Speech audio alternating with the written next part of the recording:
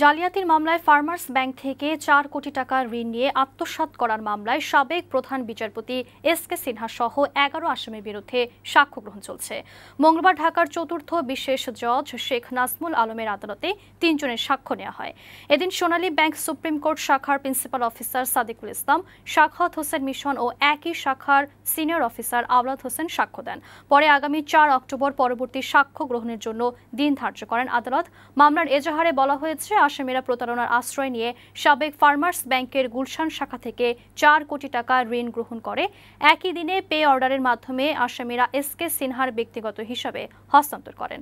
পরে S K Sinha নগদ check ও pay অর্ডারের মাধ্যমে অন্য অ্যাকাউন্টে টাকা সরিয়ে নিয়ে অর্থ আত্মসাত করেন।